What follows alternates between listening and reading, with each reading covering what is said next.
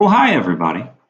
Today we're going to be talking about two very important topics. The first topic we're going to be talking about is germs. Now, germs don't really look like these fun fellows on your screen, but they do come in funny shapes, many different sizes, and some of them look downright creepy.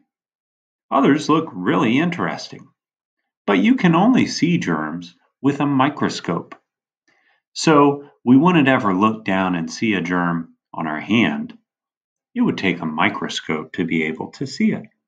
Well, germs are found everywhere all over the world. Even though they are very tiny, they can cause some big problems for us when they invade our bodies. Germs make our bodies respond to them. And when our bodies respond to them to try to kill them, we have something called symptoms. Symptoms are what happen when our body shows signs that we're sick. Some symptoms, like those of a cold or a stomach virus, can be really bothersome. Others can be really serious, like fever or if you have throat soreness due to strep throat.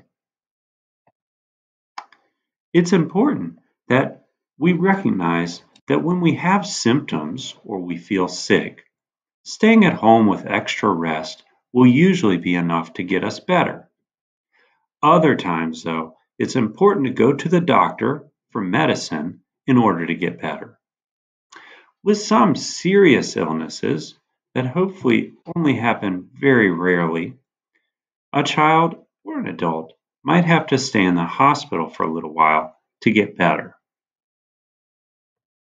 With all sicknesses, though, who can argue with this picture? Rest, plenty of fluids, and treating the symptoms with medicines that the doctor gives us or our parents, and listening to our doctors and following their instructions will help us get better the fastest we can. Now we're going to change gears a little bit and we're going to talk about our teeth. I see so many people come up to me every day showing me their smiles when they're not wearing masks, of course.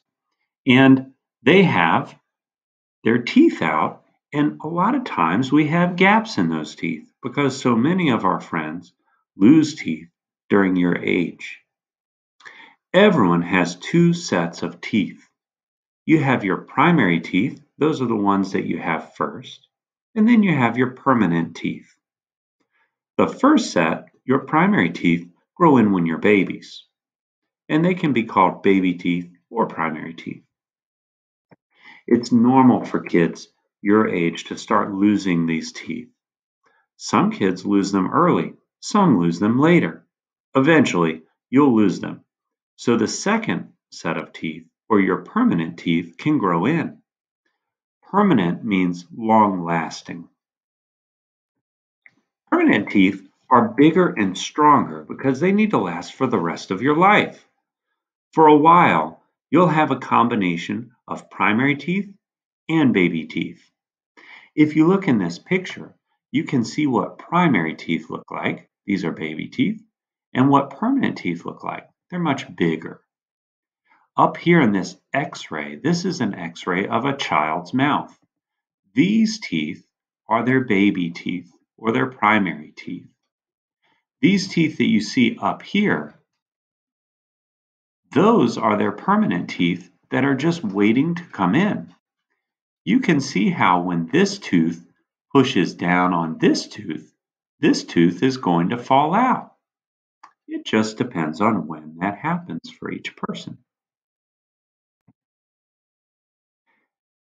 Kids lose their baby teeth between the ages of 6 and 13. Permanent teeth fill in that mouth from the age of 6 all the way to 22, with the wisdom teeth coming in last in the very back of your mouth.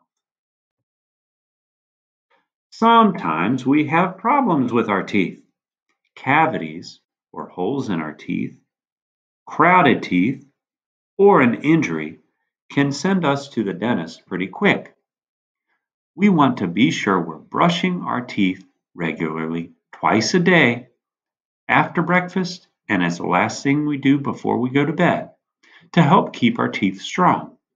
We also want to visit the dentist to have our teeth cleaned twice a year or once every six months. Thanks a lot for listening today, friends. I hope you have a wonderful day.